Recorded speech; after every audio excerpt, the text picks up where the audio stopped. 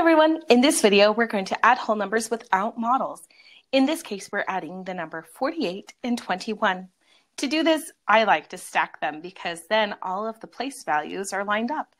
So I'm going to add 48 to 21. That shows me that I have the ones lined up 8 and 1. Adding those together gives me 9.